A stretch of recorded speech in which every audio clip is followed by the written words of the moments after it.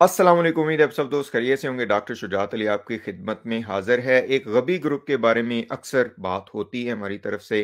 तो अब उन्होंने नए नए तरीके इस्तेमाल करके मोमिन को धोखा देना शुरू किया हुआ है। हद ये है कि ये लोग रहबर मौज़म का नाम इस्तेमाल करके, इस्लामी तरीक़ाकार इस्तेमाल करके, मज़हब का नाम इस्तेमाल करके, शीयत का नाम इस्तेमाल करके हकायक को तोड़ मरोड़ कर पेश करने से बाज नहीं आते। और उसको ये दीन का नाम देते हैं।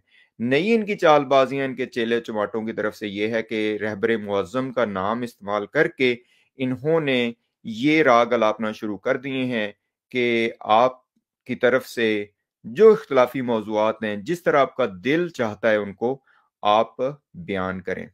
हम लोगों के ऊपर इल्ज़ाम इन्होंने ये लगाया कि हमारा जो मौक़ है वो ये है कि ऐसे इख्तलाफात बयान ही नहीं होने चाहिए, ऐसे इख्तलाफी मौजू बयान ही नहीं होने चाहिए। और ये कहा गया कि ये रहबर मौज़म की जो रवश है या जो रहबर मौज़म का एक फतवा है, ये उसके ख़िलाफ़ है। ये सबसे बड़ी इनकी जो मैं समझता हूँ कि तकरीब कारी का सरगुना चैनल फ़िका जाफरिया, उसके बाद फिर फैक्चुअल हिस्ट्री और उसके बाद फिर एक अमामा पोश, प्लीद इंसान उनकी तरफ़ से ये प्रोपागंडा किया जा रहा है और अब इसमें काफ़ी चेले चमाटे भी इनके शामिल हो गए हैं। पहले ही आप थंबनेल देखें, ये फ़िका जाफरिया की तरफ़ से कि इन्होंने इस बारे में क्या कहा है और रहबर मौज़म की शख्सियत को किस तरह दागदार करने की कोशिश की है और किस तरह इल्ज़ाम तराशी करने की कोशिश की है। तो ये आप देख सकते हैं। अब आते हैं इनके एक साहब की तरफ़ से जो सुना है कि वो दीनी तालब इलम में शायद या कुछ पढ़े लिखे भी हैं, लगता ऐसे है कि अरबी शरबी बोल के लोगों को काफ़ी चक्कर शक्कर धोखा देने की वो कोशिश करते हैं। अब आइए उनका बयान सुनते हैं कि किस कदर झूठ बोल रहा है ये बंदा और हमारा मौकफ गलत पेश करने की कोशिश कर रहा है। आइए सुनते हैं, थोड़ा सा फिर आगे चलते हैं।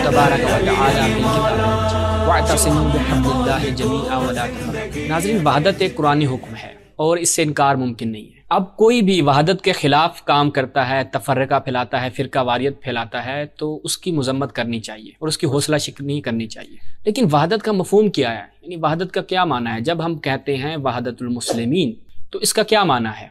क्या वहादत का ये माना है कि आप अपने सलमात और अपने अकायद से हाथ उठा लें?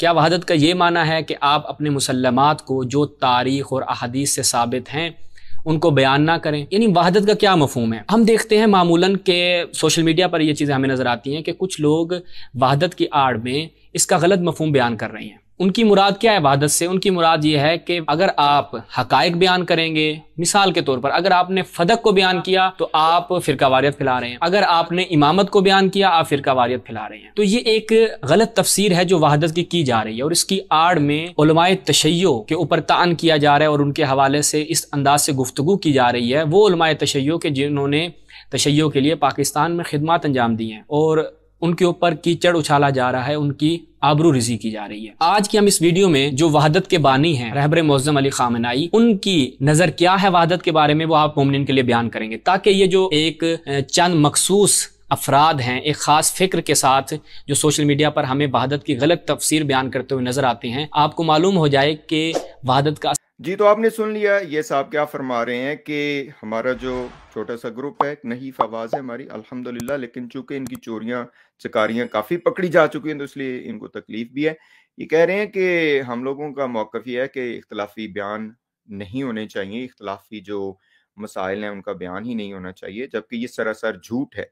और अपनी तरफ़ से कोशिश इन्होंने ये की, पहले भी इस पर बात हुई, लेकिन चूँकि ये फ़िका जाफरिया ने इसको मोमिन को धोखा देने के लिए सामने पेश किया तो इस वजह से मैं चाह रहा था कि इस पे मजीद बात की जाए। और इनका असल चेहरा इस पूरे ग्रुप का, जो सादिक शराजी का माउथ पीस बना हुआ है, आपके सामने रखा जाए, जिसमें वही ये जो कभी लोग हैं, ये शामिल हैं। तो इसमें पहले तो इन साहब से ये बात करने की है कि रहबर मौज़म ने कहा है, बिल्कुल कहा है कि इख्तलाफी बयान करें।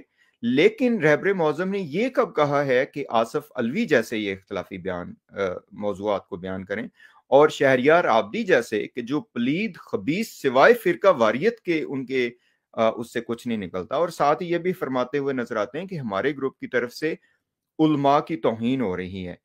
आप ये बात बिल्कुल आ, हमारे चैनल पे भी देख सकते हैं।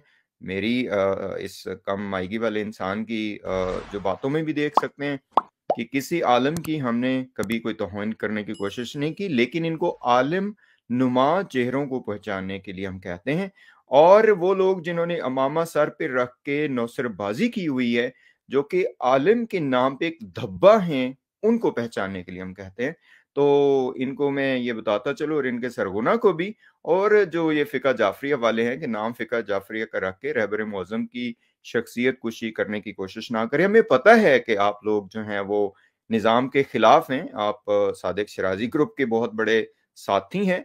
तो अब उसी तरीके से आ जाए ना, उनको आप इधर साबित करेंगे, वो ठीक कह रहे हैं रहबर मौज़म का नाम लेके लोगों को धोखा देने की कोशिश ना करें कि रहबर मौज़म ने फरमाया कि इन मौजूद को लेके आग लगाते फिरो।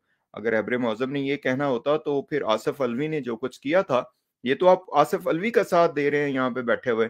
कि जी, जो आए, दिल में कहते रहो, ठीक है? तो फिर तो वो ठीक था। उसको फिर आप क्यों कंडेम कर रहे हैं? पता नहीं इन्होंने किया अभी कि नहीं।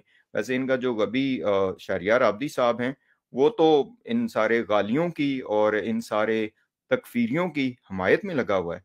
चलें जनाब, इंशाल्लाह मजीद फिर बात करते हैं। अस्सलाम वालेकुम रहमतुल्लाहि व बरकातुहू